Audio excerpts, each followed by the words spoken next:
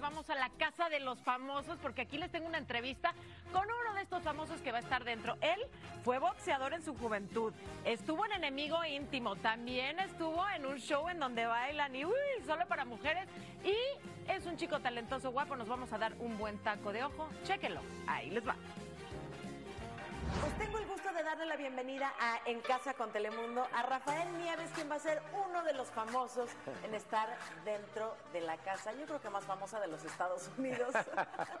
¿Cómo te sientes de, de estar a punto ya de vivir esta experiencia? Híjole, no, pues muchas gracias por tenerme aquí y pues bueno, ya ahorita me siento ansioso, emocionado, ya se acerca la fecha, entonces, pues bueno, ya, ya estoy mentalizándome poco a poco a... ¿Pero ya te cayó el 20 completo o va por partes? No, va por partes, va por partes, ¿no? ¿Qué es lo que quieres sacar tú de esta experiencia? Pues es un reto personal, ¿no? A mí me encantan los retos, ¿no? Porque estar pues descomunicado, aislado, es un reto increíble, ¿no? Entonces, pues aprovecho lo que es la casa, ¿no? Divertirme, ya que voy a estar ahí, pues gozarlo, divertirme, hacer amigos, hacer amistades, este, que el público, que la gente conozca quién es Rafael Nieves, ¿no? Ya tenemos señal de satélite.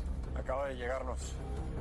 Esta es a la mujer que tienes que ubicar y seguir en el aeropuerto. Porque principalmente eres un actor, pero también has participado en realities, nada más que en realities que no tienen nada que ver con encerrarse, ¿correcto? Eh, exactamente, sí, participé en, eh, en realities que era de competencia física, ¿no? Entonces, pues íbamos, competíamos, grabábamos en el foro y luego ya cada quien a su casa, ¿no? ¿Estás soltero a la casa? Así es, así ¿Y es. con ganas de conocer a alguien o de vivir otras experiencias, no necesariamente el amor? Pues mira, yo estoy abierto a que pase lo que tenga que pasar, si conozco a alguien, si es amor, si nomás es experiencia, que pase lo que tenga que pasar, que me sorprenda la casa, ¿no?